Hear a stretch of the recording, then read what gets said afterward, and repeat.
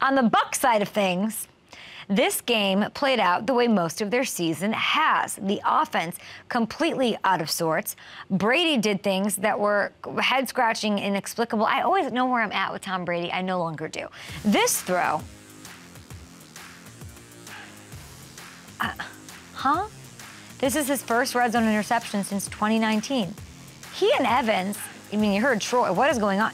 It seemed like they were on totally different pages again after we thought, no, no, no, they're back. He had a 200 yard game. He had a touchdown. He had a touchdown drop. Now they're like lovey dovey again. Everything's good. No. And the defense also talented did not play up to their potential in this one either. So the speculation, the takeaway is that it's over and it's all going to happen just like it is with Aaron Rodgers, but in a different way because you know we saw him leave Brady the field and he's at home. He's kissed. There's his parents, kissing his parents, and we're all going to speculate, and we should. We don't know what's going on, and he leads us on to believe different things. We didn't see this though last year. I was at that game, and we went back and watched the highlights because I never even saw the broadcast of it. I was uh, I was in Tampa for this one. He, I remember, got beat up by the Rams, loses to the Rams. His face was bleeding at one point, and he left the field, and it was just I don't know. I don't. Uh, There's no parents in the field. There were no pictures being taken. None of that. Um, and he sat at the podium and he said, uh, or stood at the podium rather, and said, "I need to figure out what I'm doing. I need some time. This feels different." And it's fair to, uh, you know, he said, I want to play till I'm 45. Like, okay, well, there's 45 birthday candles on the cake. You did it, kid. The question for Tom Brady is, is it enough? Is it enough? Uh, and I think, do we have the Tom Brady uh, sound? We do. Let's go to him post game and hear what he had to say after this loss.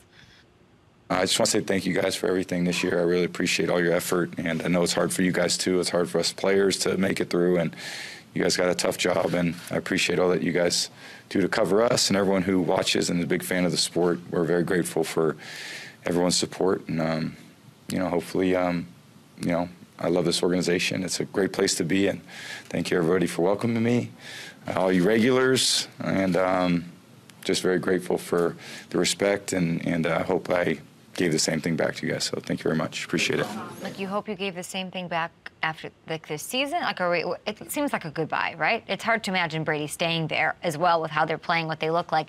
Um, and it's also hard to imagine him wanting to go out on that type of performance. That's the question. What is enough? What if you never get back there? Are we going to have to bring a shepherd's hook in and take you out? Like, cause you, you're going to want to leave on top. And if you, if Brady goes somewhere else, Raiders, great. Let's go. You're going to go to the AFC West and contend with, you know, what's going on with Justin Herbert and, and Patrick Mahomes out out there. Like, and maybe somebody comes in and turns Russell Wilson around, like, will you win then? And let's say you do go to the AFC West or any division, any team, and you win.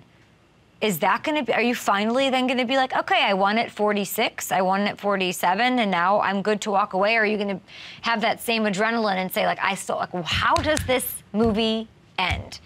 Uh, we don't know. I would love to know how everybody else thinks uh, at uh, Up and Adams Show. I will say, I listened to his Let's Go podcast radio that he does um, with Jim Gray and Larry Fitzgerald was on yesterday, and hearing you know Brady before the game it was just very not not nonchalant but optimistic almost like i'm just to go enjoy it. Like we got to play the game. We're ready. We're prepared. Like let's go out there and do it. It was very uh, like oh let's walk through the casino put 20 on black oh i lost 20 bucks. Like let me walk out. It was different. It just all felt different. And i'm not to go into the personal life part of it because none of us know that None of it, like all these like Gisele GIFs, like you're all idiots for putting those up, just wasting your own time. We don't know anything about that, and that what that would play into or not play into, we will not know unless he were to tell us. Um, but we're all just speculating, I guess, on on what he wants and what is enough. It used to be, what does he want? What would make him happy? Playing football makes him happy. We know that from him. We know that from his actions. We know that from his close friends like Rob Gronkowski, who'll be on our show tomorrow. And we'll ask him the same thing. He just wants to be happy. Playing football makes him happy.